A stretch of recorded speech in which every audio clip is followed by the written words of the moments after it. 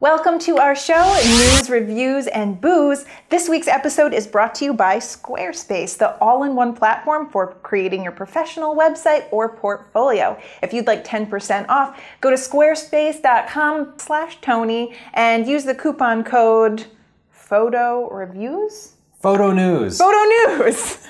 Do not try the other one. Squarespace.com slash Tony, Photo News. Okay. Thanks for sponsoring us, Squarespace, Yeah. making this possible. Yeah. So we can uh, Let's go to our right into the news. Yeah, our first segment is called The Scoop, where we give you the scoop on the latest photography news. Tony, what'd you dig up? Uh, you know, minor thing, but the Magic Lantern team came out with a new nightly build for the 5D Mark III that actually extends the dynamic range of the camera by half a stop. The 5D Mark III already had like a better dynamic range than just about any camera out there, and it added an extra half a stop, which is like seven percent more. So it's not going to rock your world or anything, but it's incrementally a little bit better. Let you squeeze a little bit more out of those raw files. Uh, means you won't have to bracket and go to HDR quite as often. You won't blow out your highlights quite as much.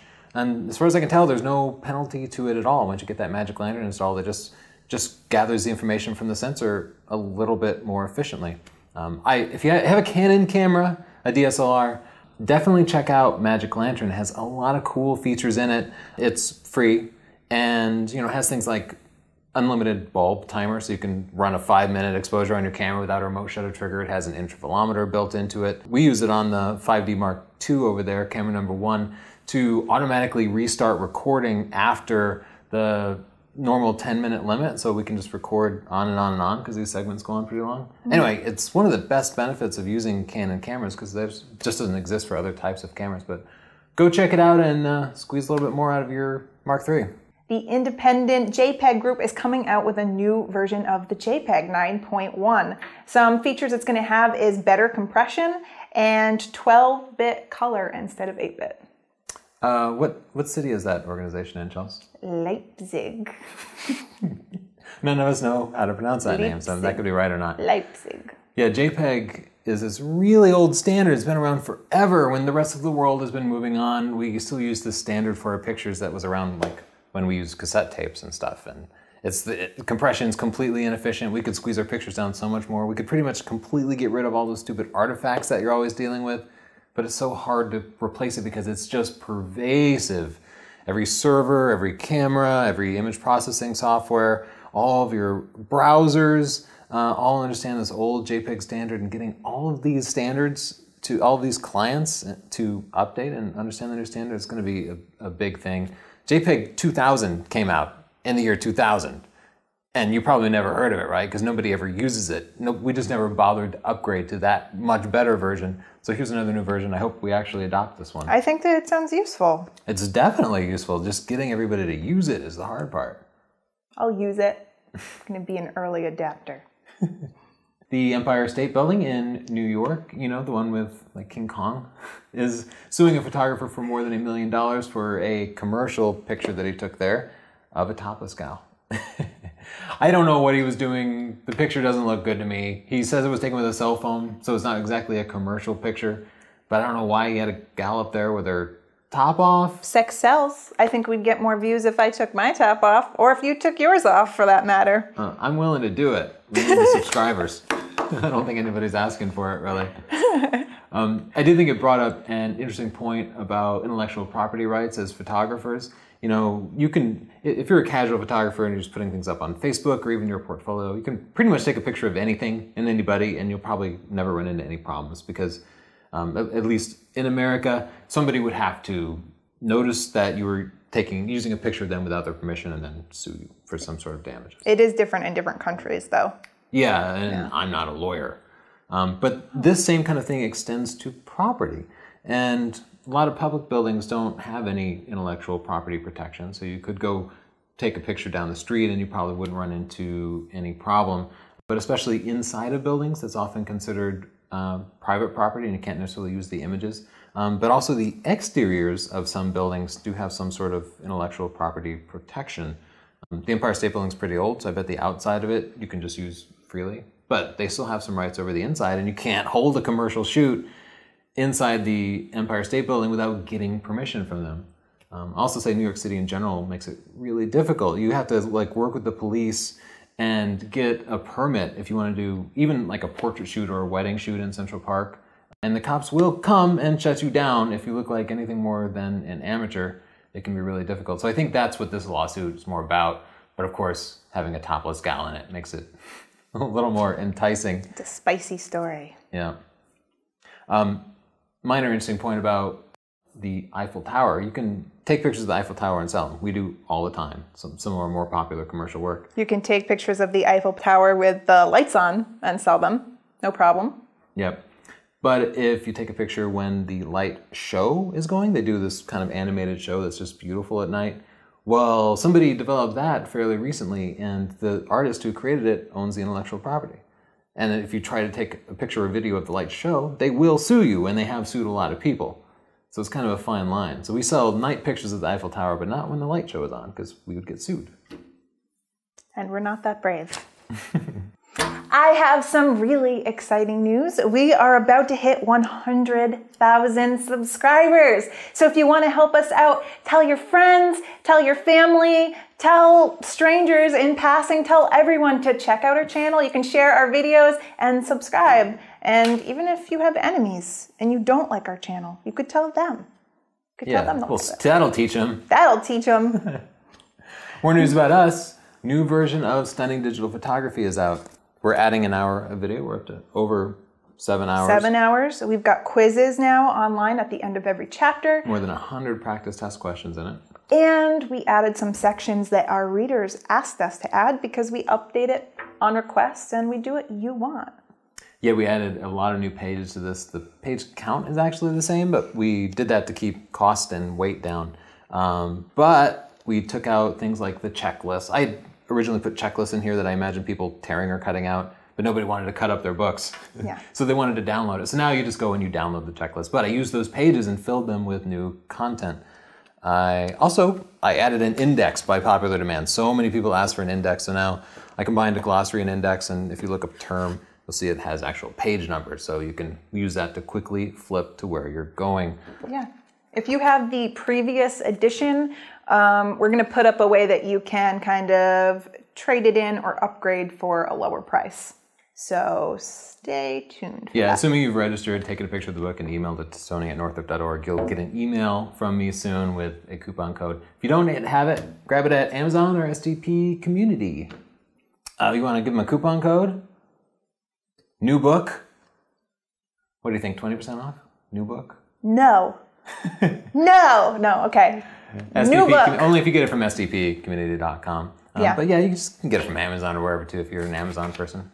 One of our readers has been in the news. Uh, Alison Brimecombe over in Australia has been uh, giving, she, she does portrait photography, especially family portrait photography, and she's fantastic at baby pictures. So she's been giving them lemons. You, you cruel woman. Yeah, we totally support being mean to kids for good pictures. We're Anyway. just teasing Allison. The pictures are beautiful. They They're get a really great cute. reaction Yeah. from the kids. Yeah, Yeah. they, they just make them really, really adorable. Uh, so go ahead and uh, check out her portfolio and the news story. Yeah. Our next segment is Chit Chat, where we answer your questions that you ask us on YouTube. So, Tony, um, let me ask you the first one. Are Tony and Chelsea partners or siblings? Ah, well, we're married and half siblings. That's okay, right? We just have the same mom. no, we don't. We're cousins. All right. First cousins. Here is our next question from Tom TNT83. I like the sound of that one. Sounds dangerous. How can I send you my photo? Uh, well, uh, the photo review is open to people who've purchased Stunning Digital Photography or our DVD training series. So if you don't like books, just get the DVD training series. And then uh, you can upload it at sdpcommunity.com under the pictures menu. You'll see a little sub menu there. Yeah, that's how we review all of our pictures from our readers. The ebook is $9.99 though. It's $9 for a book and seven hours of video and quizzes and an online community and photo rev- review. I mean, it's a bargain. We should probably make that more expensive. Yeah. Okay. Here is our last question from Javier. I've decided to learn something this morning and I've just get it with a big smile. Well done. This is my idea of learning. Chelsea should be the education minister or something. I agree. I just wanted to share that one. It's not even a question. I agree. It's not even a question. I just wanted to say, Javier, you're right. I should be. I'm really good at this, and I'm going to go for that job. So thank you. Oh, look. Jane82 says, Tony, you're the best. You're so handsome and you're the best photography teacher in the world. That doesn't even say I anything like that. I hope my kids grow up to be just like you, and I really admire you, and I bought all your stuff. No, that's not even true. All right. What's next? That ends chit chat. Chit chat is over.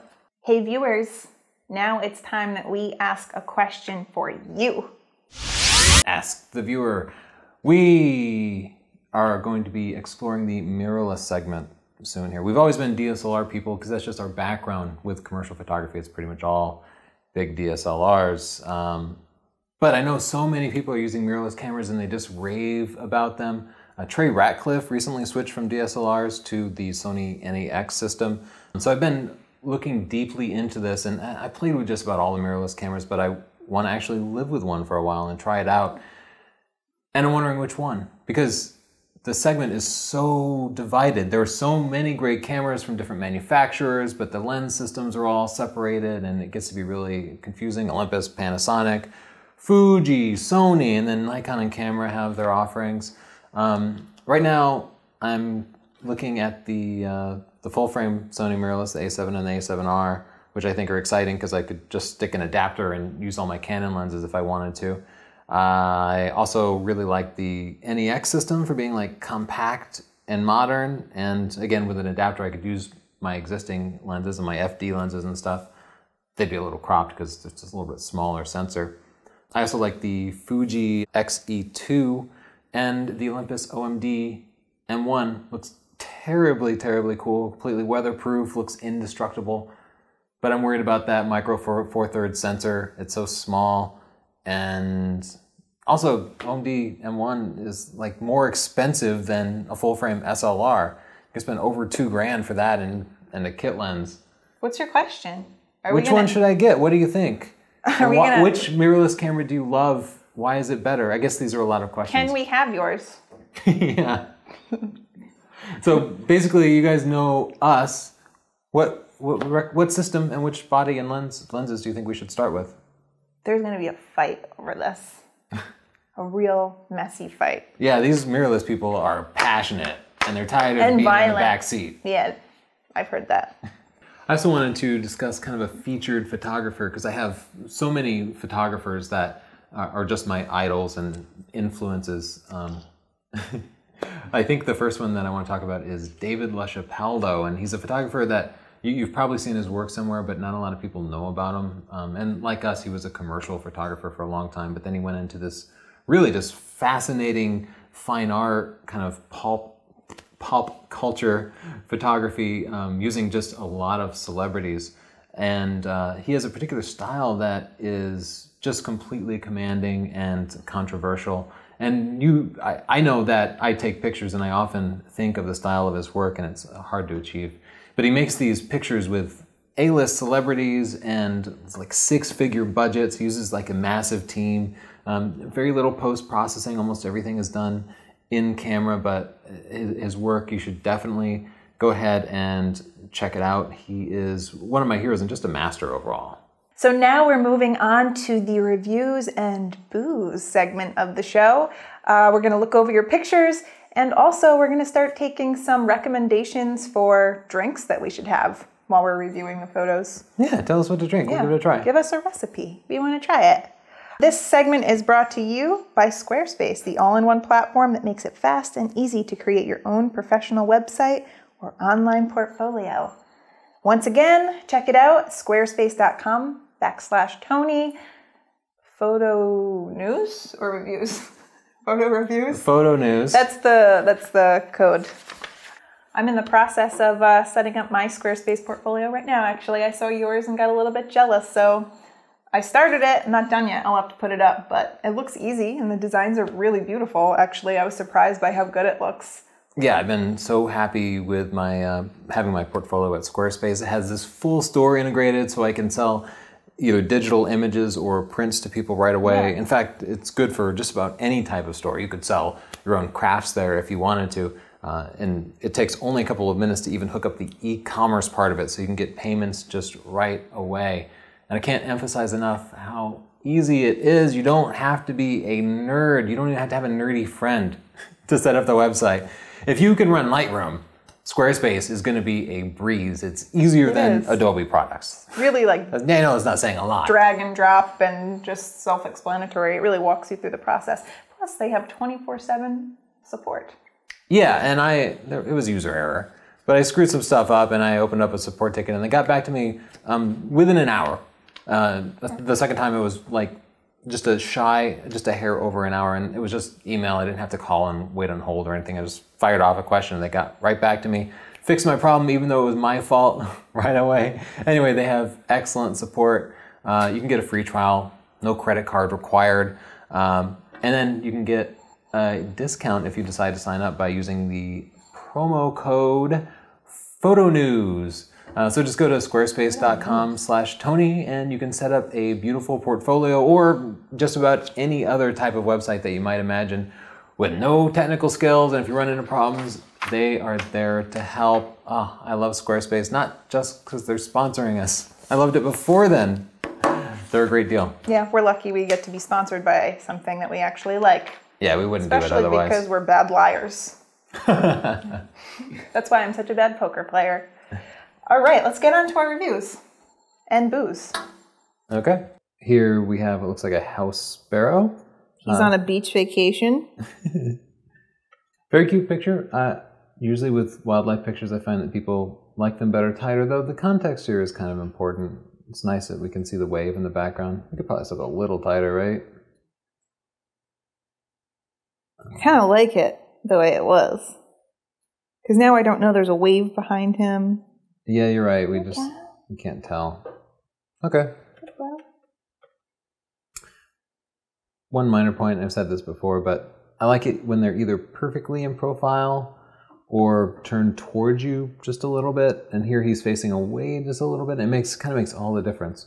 Um, you don't quite engage the same, but it the lighting here is great. Great detail, good focus. I would like this picture with filter so it looks like deep and meaningful, like he's looking off into the distance. yeah, maybe like a quote written up here about Who life. am I? Is it really all about seeds? More birds. Wow. What a beautiful owl portrait. Stephen Hunt. Uh, and clean up a few of the artifacts there. You have almost a perfect black background. Might as well clean it up a little bit. trying to figure out the lighting here. Uh, I assumed it was a, a flash picture and that the flash just fell off in the background, but it doesn't I don't think so be. because there's some stuff next to, to the right of his head. Click on that. See that stuff? Yeah. I think that they made the background black. Let's cheat. Oh no, that's just. Oh, oh, you think you they? Oh, you're right. That's probably artifacts of how they cut it out. No, look, there's, No, I don't know. there's stuff in there. How'd they do this? I'm just trying to cheat and see what's hidden hidden in the background, but Ooh. You can't see it. That's a great picture. I don't know why you're putting it through all of this. Just testing it. Um, but yeah, I. It's a fantastic picture. I don't think I would change a thing. He just looks ferocious. There's just perfect, infinite detail. My goodness, yeah, you can see every detail of his feathers. Yeah, it's beautiful. Fantastic picture. And You I love nailed it, it's cut out on Steven. black, yeah. This is a nice little cute kind of candid portrait. Um, black and white is good. I Eliminates love the composition. Yeah. I love that it's candid. The one thing that I don't like is her expression. She looks like me after a few glasses of wine. Don't give wine to your babies. Wine, baby.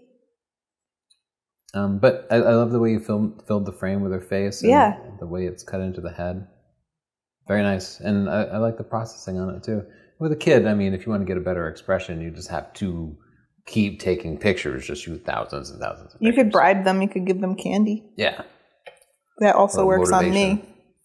This looks like milkweed. I was gonna say it looks like some milkweed pods. Yeah, I like this nice soft lighting. Um, Yeah.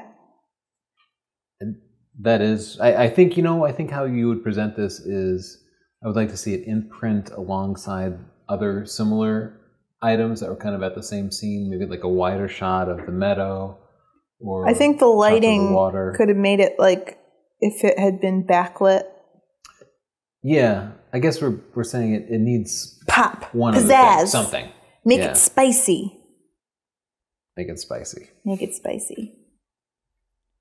Oh wow! I don't know if this. I bet this is training. Uh, but what a beautiful action shot of this dog retrieving what looks like a pheasant. Uh, fantastic! I just love the motion that you've captured and the snow falling in the air. Just beautiful. That's a great shot. Yeah, it really is. Uh, perfect focus. It looks like nice and sharp. That D800, just so much, so much detail out of that sensor. Um, one five hundredth.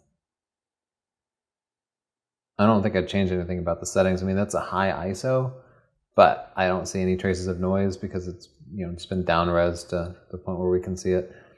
You know, I might in Photoshop just clone this out. It's a little bit of a distraction, but can you think of any suggestions? No. Why mess with perfection? Yeah, right. Oh. Oh, what a great portrait. This is a beautiful picture. Yeah. My first thought is what to do, whether to reduce this negative space, but at the same time, it is He's like looking a into it. deep Yeah. picture, and I don't mind the extra negative space. I love this picture. I wouldn't change anything.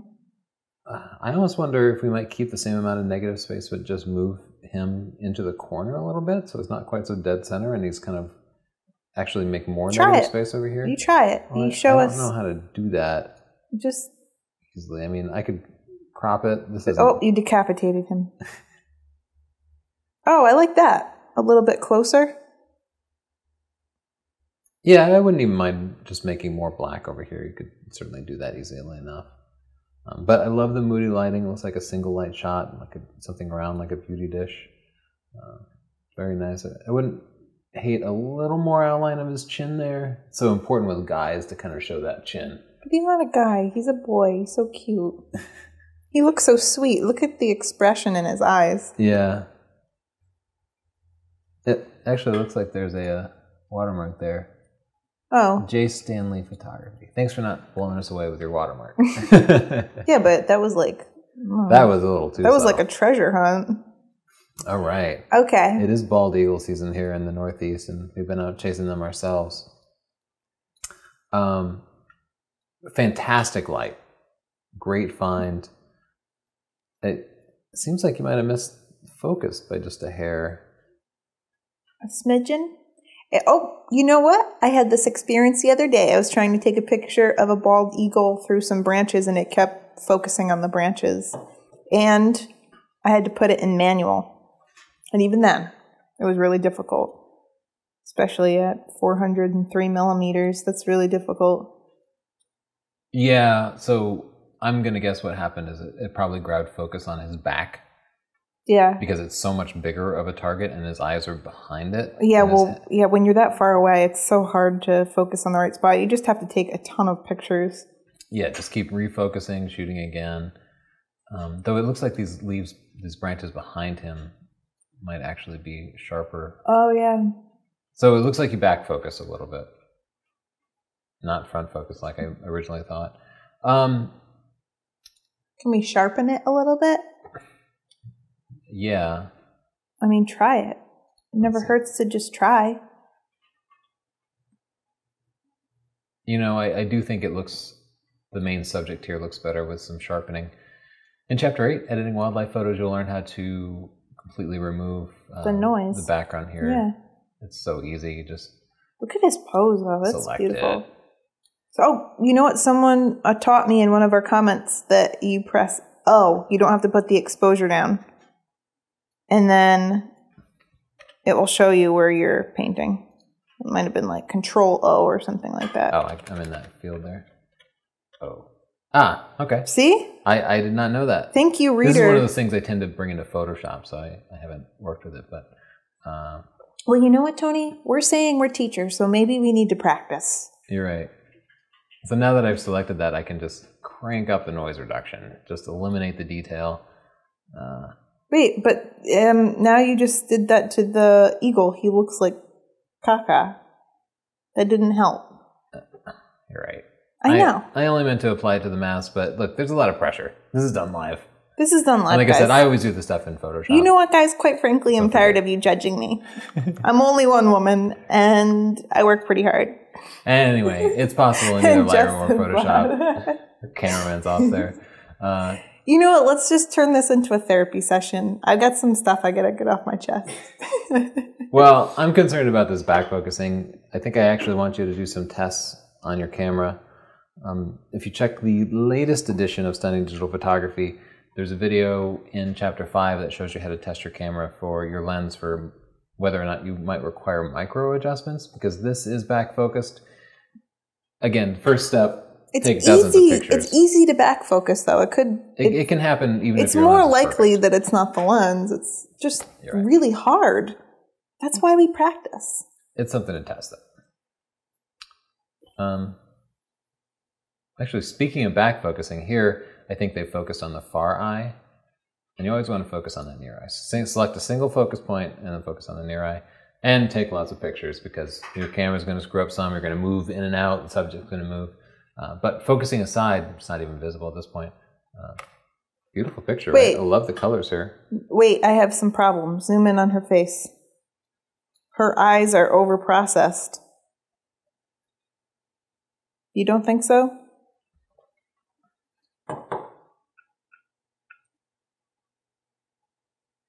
Uh, I'm sorry. I was just wondering. Did I start Captivate properly?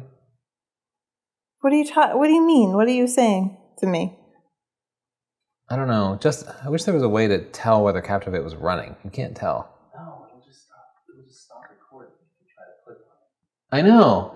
I just want to see if it's recording and reassure myself that I'm not How doing this could for you nothing. do this to There's us? a little red dot on the um on the bar. If you oh, you, you don't have it on your bar. Oh wait, there it is. Is the- Yeah, it's recording. Okay, it is recording. Forget that. That was a snafu. so I don't know. I, Th- but no, that didn't occur to me about our eyes. I think they look fine, but well, we can agree to disagree. I would say, you know, but you think they brought him out, and you think it's too much. yeah. That's just one lady's opinion, you know? This is an art. There's no right and wrong. Um, but I like it. The vignetting is really nice. I like Nice pose. Nice I like the nice blurred background. three quarters there. Yeah. Great background. Doesn't distract from the subject too much, partially because of her bright makeup and the makeup matches the scarf there, which I think ties it together really. I think it's a great portrait. Very nice. Okay. You wants Oh. to tone down the processing a little. This He's handsome. handsome fellow. That's what I was gonna say. It's like it's a hot day. He's panting a little bit. Wow. Uh, great detail. He looks judgmental. Nailed the focus. Plenty of depth of field. Uh, we're, we're sick of him judging us and looking at us like that. A little bit. I like it. I, I love the shot. Usually they're asleep at the zoo, so this is a nice change. Yeah. Might consider a crop. Eh, depends what you're going for. I would blur the background. Go back to that. You just select the background and blur it. You want to try it, and we'll see Oh, if I'm wrong. man. I don't know how to do this in Lightroom. I yeah, you just okay, click that, and now select it. Look at this. Oh, it's a little rough, but and now um, put the sharpness down. I don't think that's going to make it blur, though. You think? Mm, do the clarity then.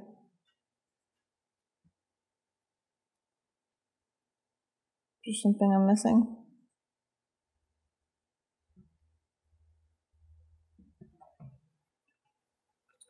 I don't know. See if that makes any difference. All right, I got to learn Photoshop or Wait, what are you better. doing with it? It's, why isn't it making the changes? Let me just see something real quick. Let me just see. Oh, it made it dark. See the selected area? That's why it doesn't Here, look right. Let's just need- undo it. Yeah, undo, because some things that weren't supposed to happen happened. Oh, oh, I forgot to You adjust see? the exposure. Yeah, Yes. okay. Here, let's try it again. Okay, let's just do the real, a real quick thing. So you wanted sharpness and clarity down? Sure. Didn't really blur it, did it? No, I don't know of a good way to. In in Photoshop, there's a lens blur tool that just works spectacularly. It really does, but every time I suggest Photoshop, people get so mad at me and tell me to talk about Lightroom. Let's just move on. I, I'm just going to do it quick. We're committing to this. Yeah. Photoshop is loading. All right.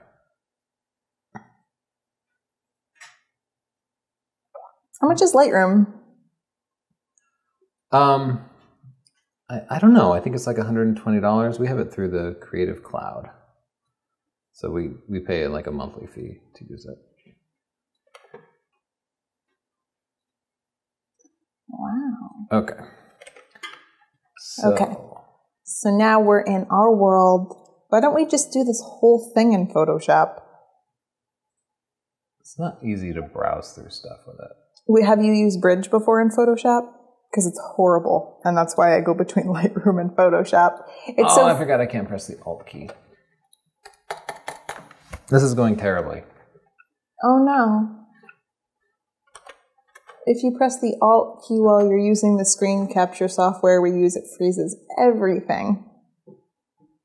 Yeah, and now look at my cursor. This is a mess. This is just horrible. Let's quit. Okay.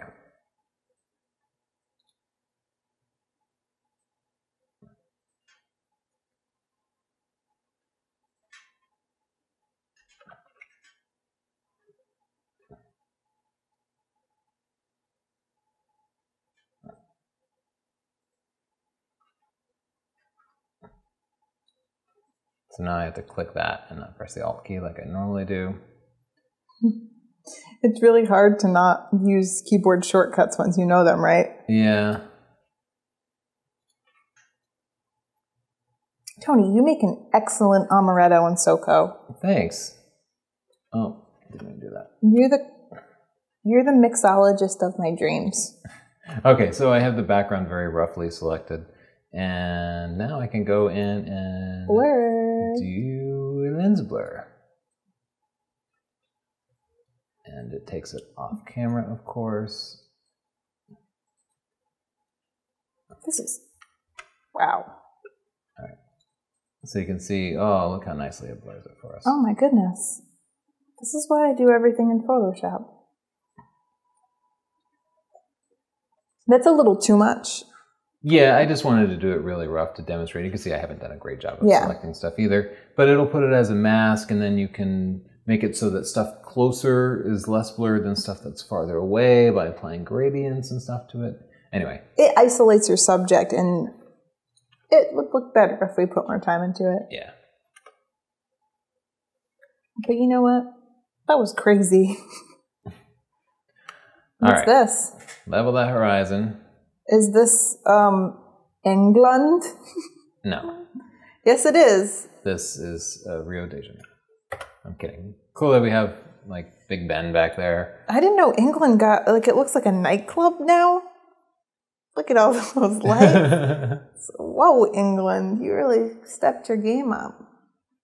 You know, this is it's a matter of opinion, but a lot of night photos, the histogram looks like this, where everything is in that like bottom eighth, Yeah. and your camera will often just expose it like that. But I I like to see a little more detail, and especially if you want to make a print. If you made a print like this, you wouldn't even be able to see the print. I like to bump up the exposure a little bit. I know that about you. Yeah, Justin, have you seen. England lately? Come check this out. England freaked out. Look at that place. out. A lot of neon. That Wow. Yeah, that is a lot of. that's a lot of England. That puts Tokyo to shame. I know. Maybe the saturation is just up. No, that's England now. That's England now.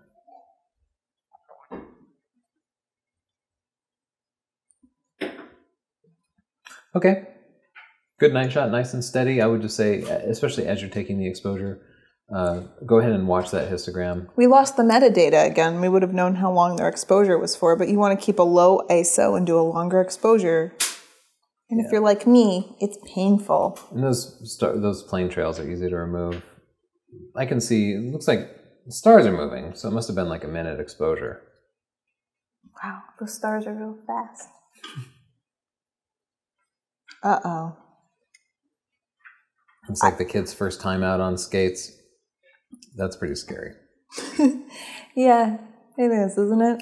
You know, The word me- unplug is really the focus, front and center. Yeah, it is. But also, she's looking down, and so your eyes are drawn to the skates, but then the skates are kind of cut off.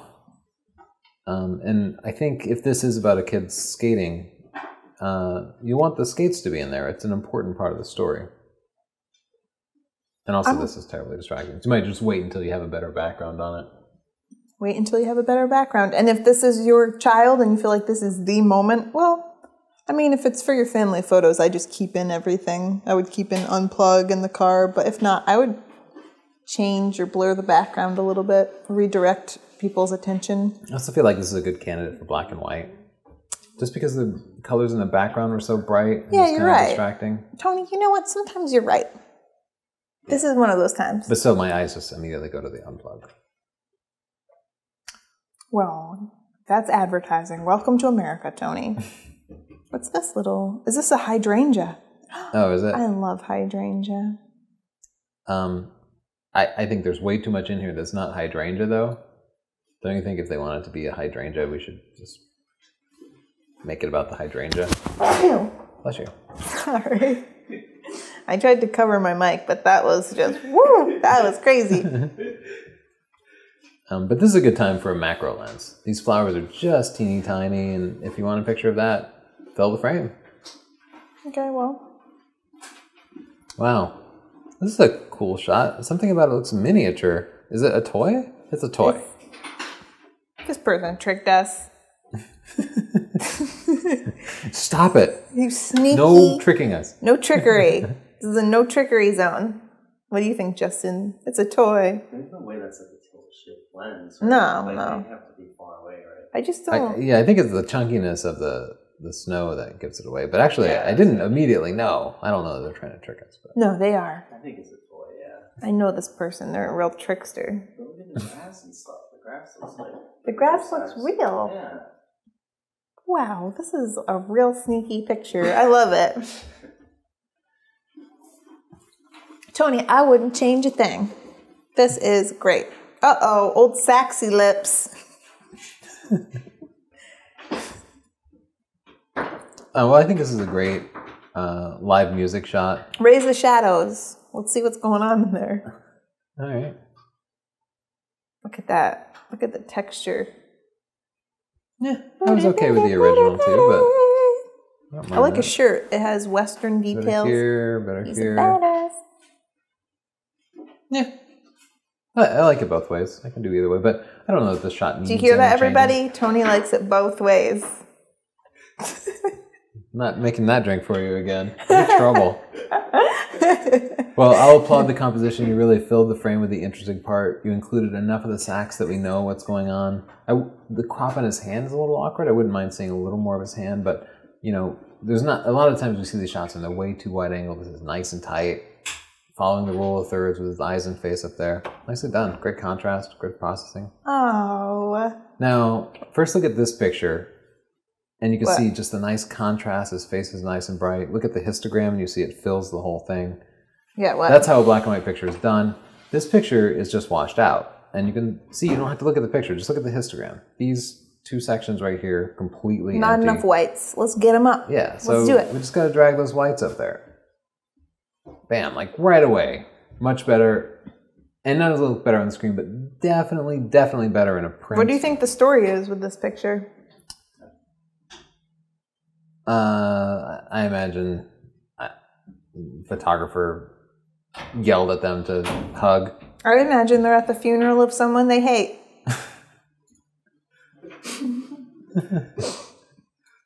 I love making Justin laugh. That's like my goal every day. Um, this little corner here is bugging me. Uh, I, I think it's a great moment, other than the uh, whites being a little low. Bye. Bye, Justin. I'm gonna grab some stuff, but yeah. Oh, okay. Okay.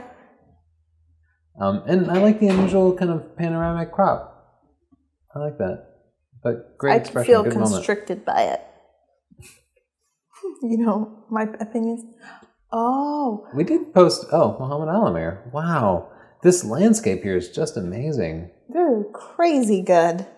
It's so rare that you get good wildlife photos that are good in some other way besides being a wildlife photo. This is awesome. Yeah, this is really one of the best owl shots I've ever seen. Oh, you win, sir. You win. That's beautiful. How did this happen? Like, wh- he was Holy hiking up a mountain and, and saw this? Like, what? I, I don't even know Muhammad, but this is a spectacular. But this doesn't picture. have his watermark. Is this? This must be the guy we know. Could it but be? No, yeah, it must be him. Maybe he's got like a different signature for wildlife. He is sophisticated.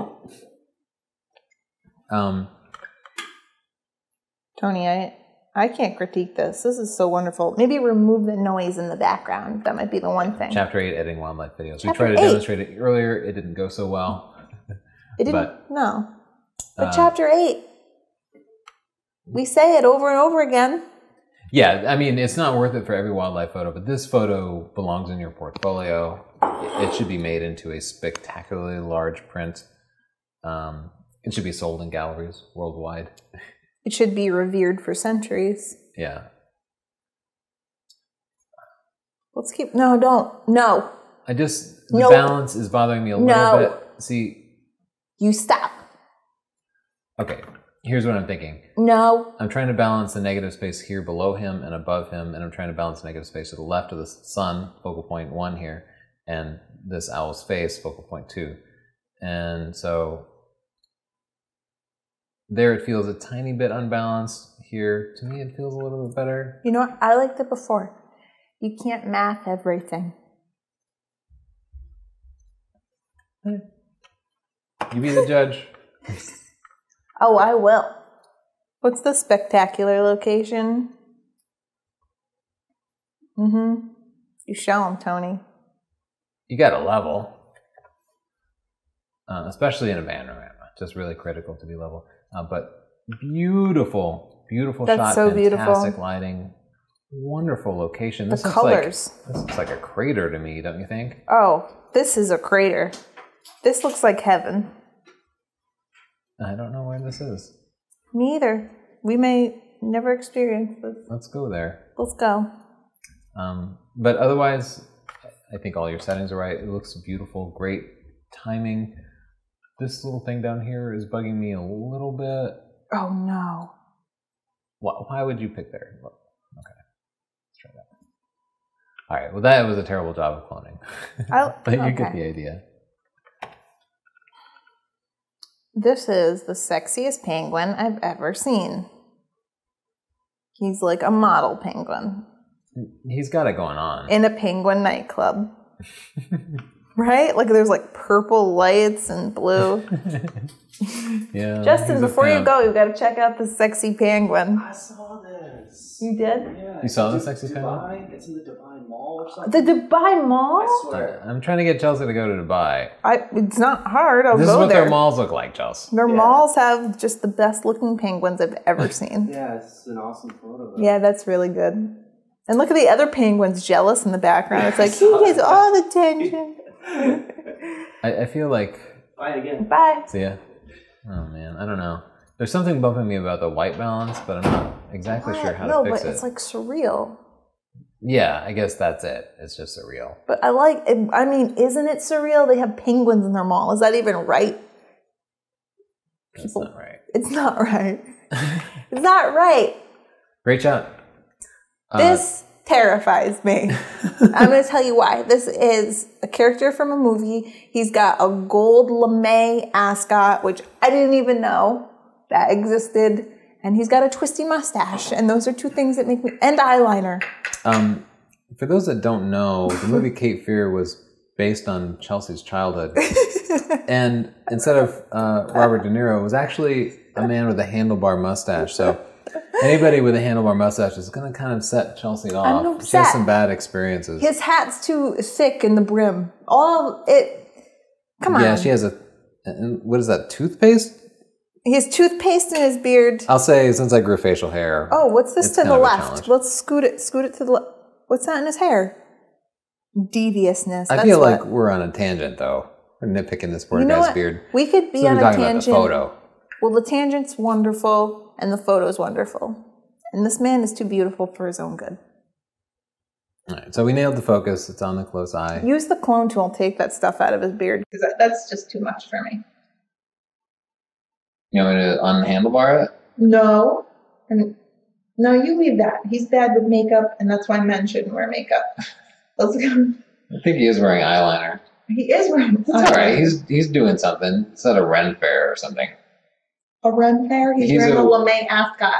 This is some crazy place I need to go to. It- it- it's in the wrong era. I think he's he's just like a, a mid-century rapist. What? I don't know what you just said, but I liked it. Let's make you another drink. You get crazy. Oh, Mike Circo. Canada Goose uh, feels a little dark to me. Here, people they don't like the Canada goose because they poop on their lawn. So it's a creature that's difficult to appreciate. Is it a Canada Goose or is that might be different? Because there are lots of variations on the Canada Goose. It's one of What, what's species. different about them? I, well, I feel like that might it's probably Canada. Don't they all just poop on lawns? So this would be quite a boring picture if we didn't have this nice reflection here. You're right. It, the reflection makes it. Um, but we do need the subject to be well exposed. Uh, It's a bit dark. Yeah.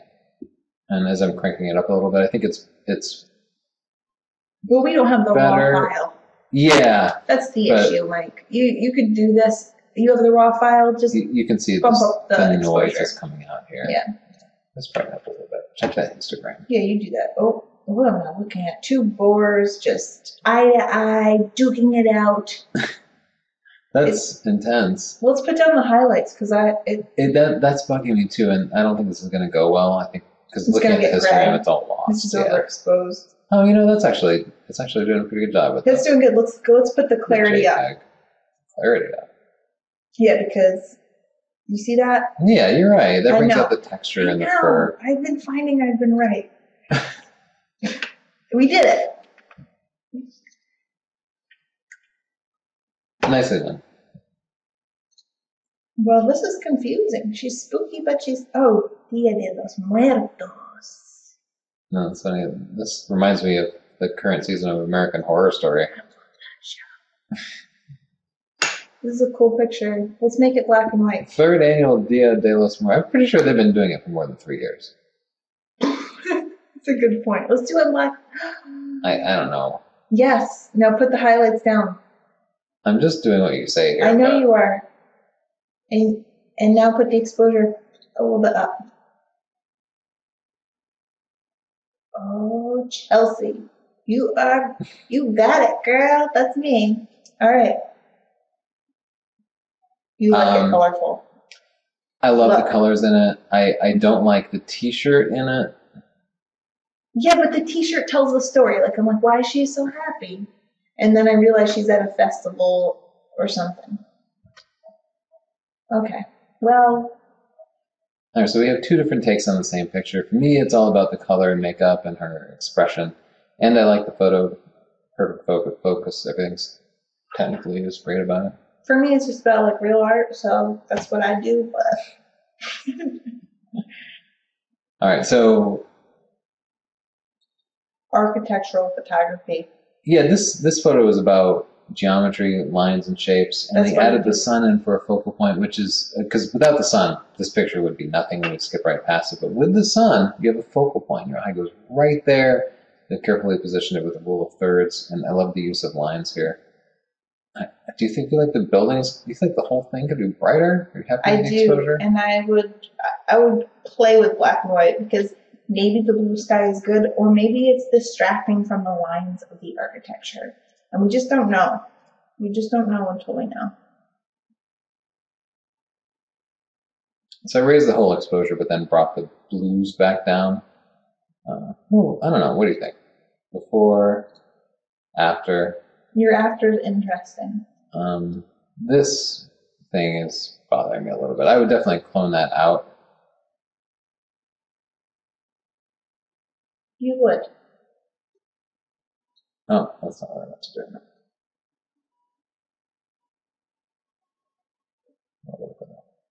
Well,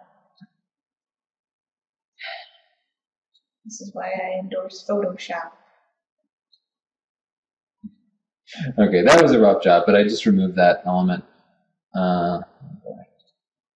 What else is in that? Well, oh, simplifying the composition. I think Yeah, that last move was a bad choice, but I'm going to respect your opinion.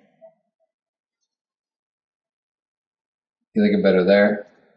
Well, I don't like the statue, but I do like the doorway because it round it adds So a you like rounded line to an otherwise square composition. You're right. It's better with the doorway, but without the statue. Yes. I think we liked it brighter. Okay. What happened?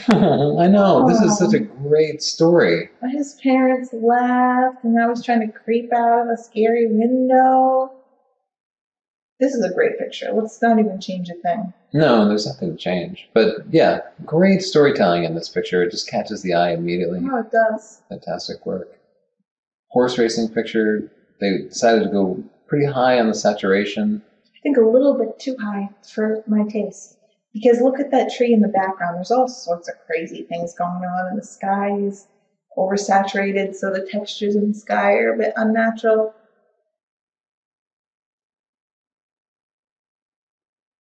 Yeah, I'm not going to be able to undo the processing, but I do think it's a great action shot. Yeah, I like the shot. Just the processing is a bit.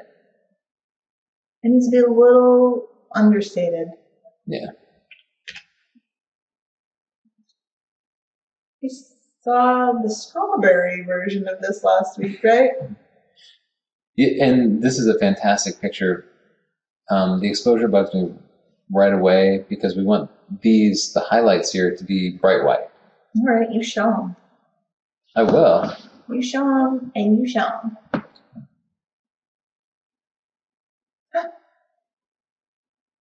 Yeah, so on the histogram here, we want some of it blown out.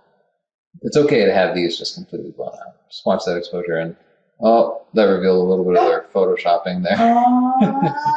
I know, those selections are hard. Masking is, they, they pay people just to mask stuff like this off. It's hard. Um, that's not the best job of masking. That job There are people boring. whose job is just to mask, so That's so boring. yeah, it's pretty boring. Um, but we get what you're going for here, and I think it's wonderful. Otherwise, I don't know what else was in the background there. Um, but I would just go ahead and, and uh, reshoot it, try to get a better in camera because you're not going to be able to fix this with post processing in any sort of easy way. See, I think it works better with the strawberry because the strawberry dropped in water is like, ooh, cool, refreshing. But when I think of a pepper, I think of spicy, like there should be a flame around it or something. All right, so throw some peppers in a fire.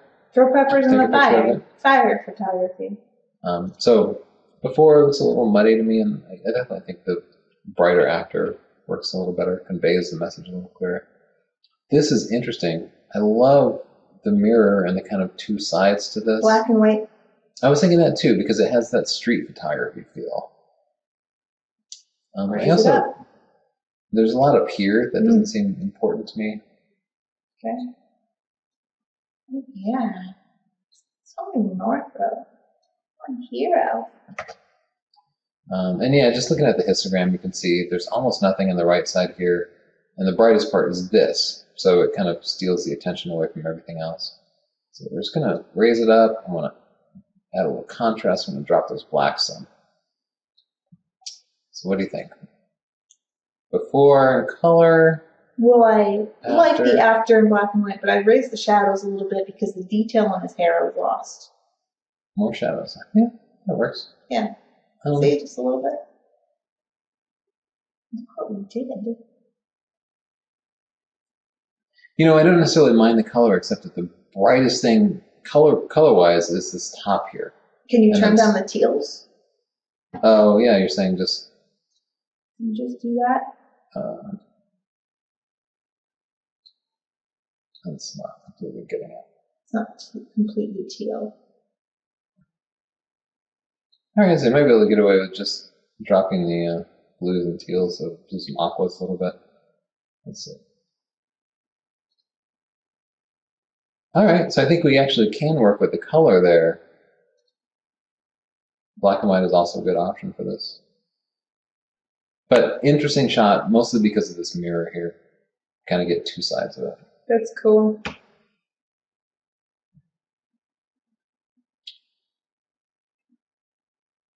I, I feel like this needs something else. Has beautiful lighting, Yeah, the lighting is beautiful.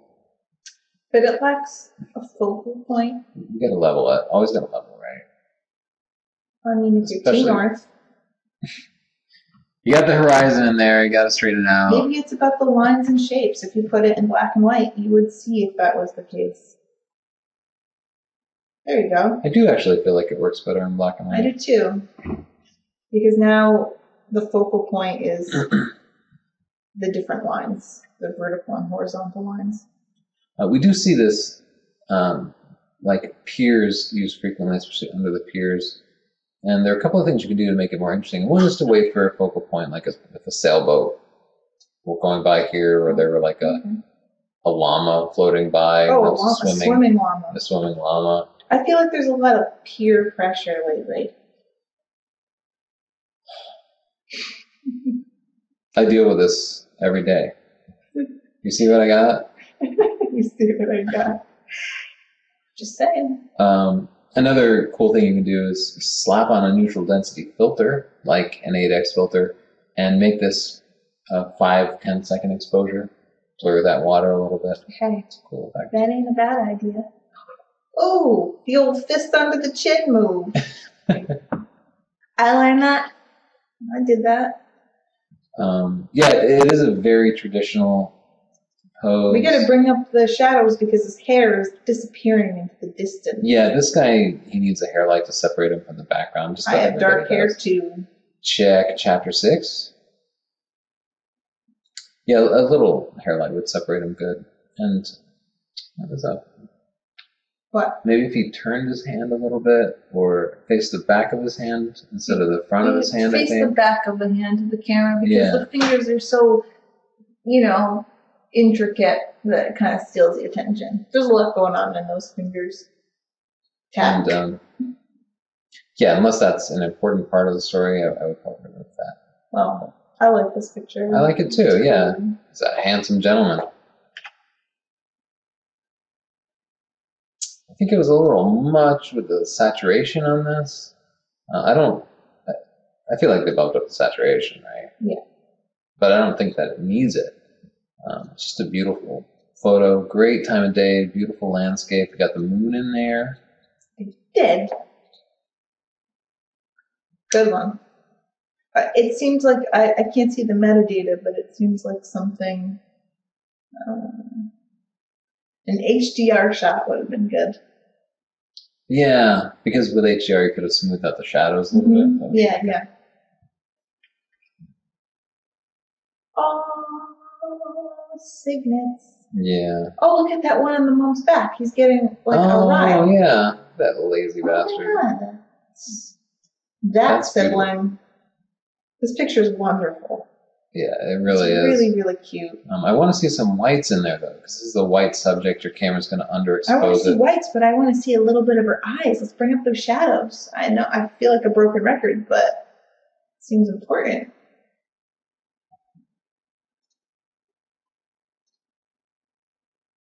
Yeah, so don't be afraid if you have a white subject to make it white, like all the way to the right white. All the way to the right way.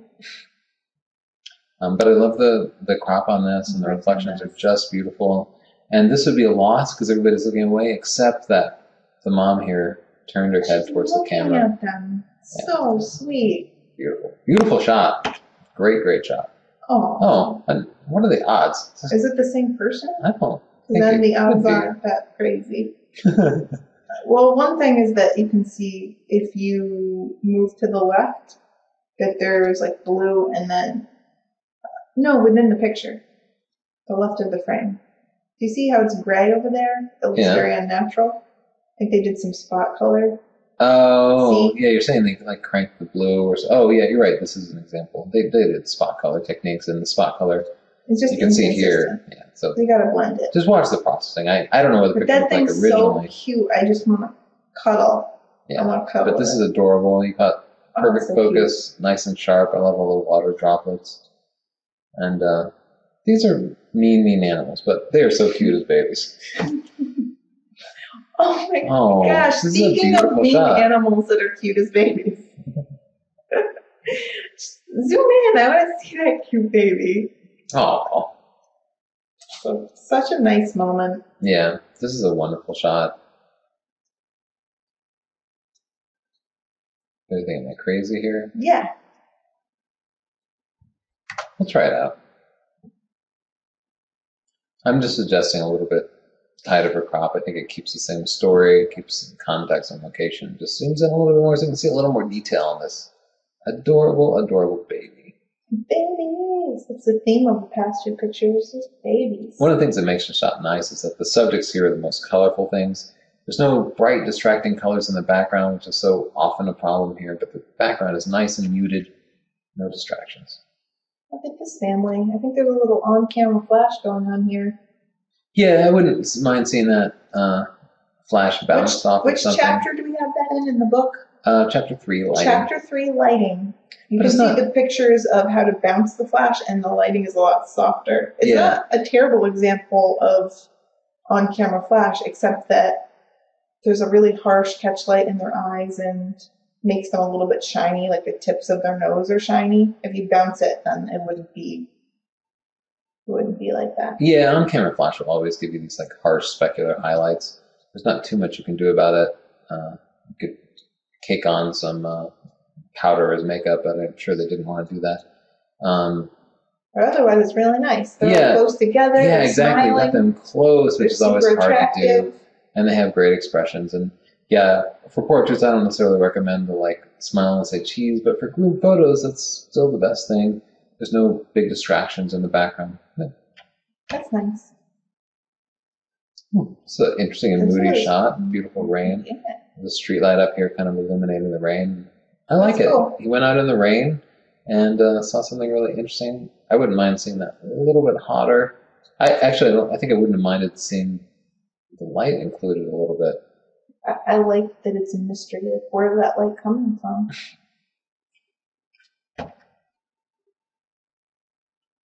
Everybody's looking at their phones. You know, before I saw the histogram, the first thing that bumped me was there's no black black in here. Like, look at the histogram. What happened here? So we need whites and we need blacks. That was too much, I think. Well, you know, it's difficult to try to fix processing that's already been done. Yeah. I, you know, I think they were going for like a vintage thing. yeah. Um, you're right. I'm not going to be able to fix that. I think they wanted it to look washed out. I think it's like a preset that they used. yeah. it looks cool. I guess it's supposed to be I like washed the out picture. It tells a good story. Yeah. A sad tale. um, because everybody's involved with their cell phones. Yes. Oh, you're going to black and white? I, I was just trying it out. It's I, I will always try it for street photography, just because it's the standard. I'm still bugged by the lack of contrast. But I know that's what they were going for. So as long as it's a conscious choice, you do you. You do you. This is there's something sensual about this picture. Liquor is working on you. Uneasy. So they uh, found something beautiful and, and really zoomed in. I wouldn't mind seeing it zoomed in a little bit further, or maybe more depth of field, maybe, just because so much of the picture is out of focus. Hmm. Thoughts? Um, the subject is dead center. I might crop away the left part of the picture a bit. No, other side. I was thinking about cropping that side. Like that? Yeah. I don't know. Yeah, it's tough to say. Flower pictures are so tough, and I, I think the number one thing you can do is just fill the frame with your subject. And here we have Just a lot of negative space. All right, so under the pier again. Um, this is a common location because it's it's beautiful. All And that peer pressure. we, we You, One you more love time. that You joke. try me. You love You it. try me. You love it. That's why I we're will turn married. this I made file that around. joke and you proposed. no false. so this is a great spot for a portrait, and it's also a great adding a person to the picture is a great way to make the kind of under the pier shot more compelling because it adds a focal point. Uh, I like everything that's been done here. The exposure is perfect. You went ahead and let the background get blown out, but you added what looks like a little bit of fill flash, um, but not so much that it's distracting. Nice seven eighths uh, head turn, great outfit, no distractions. I feel like it's just a it's a great portrait. Nice backlighting made by the sun. I might bring up the exposure a little bit because the background seems better exposed than she does. You feel like she's dark. I feel like she's dark. I will say this is kind of a pervasive style to just let the background get blown out. But you're right. I like it a little brighter too. I would have thought of that, but now that I see the before, I definitely like it brighter. I'll bring up shadows too. Shadows too. Yeah, because then it gives a little detail in her hair and shirt and her eyes. Now she's blazing. I actually feel like this is a photo that could use a bit of that kind of vintage processing. Do it. Let's see. Nobody's gonna stop you.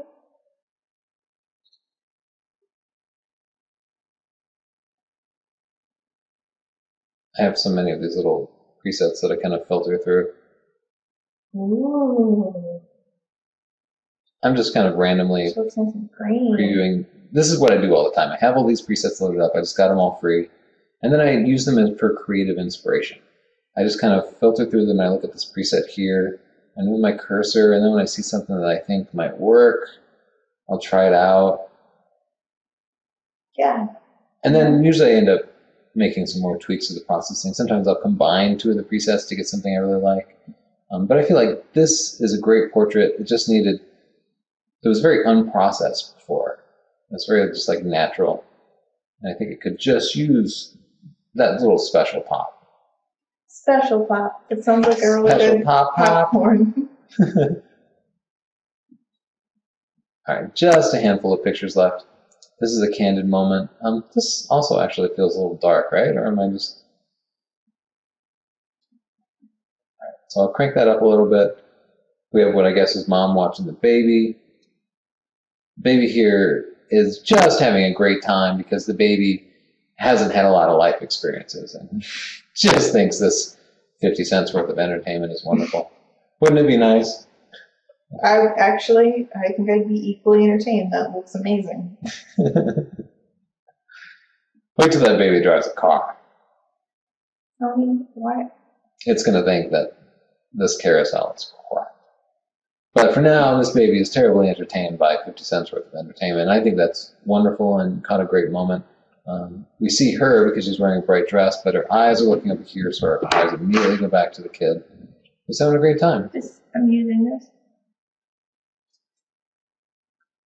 Cool baby. Um, I feel like this can work a little bit better in, in black and white. So the pop of her red dress was nice too. So everything. Um, But otherwise, great crop, great composition, great focus, great this settings. is a really great picture. Yeah, this is too. Um, and I just Frank love Fridley. the bright colors here, the lines, the I love the bright colors here. But I love them first. Dibs. So I, I don't think I would change a thing, but I love this photo. Okay. Well, you said it. You also called dibs on some things I didn't think you called dibs on. This is sad. I don't like it. Makes me scared. Would you check that camera and see if it's running? Sure. I almost didn't get my mic back. It's not. Yeah, fire it up.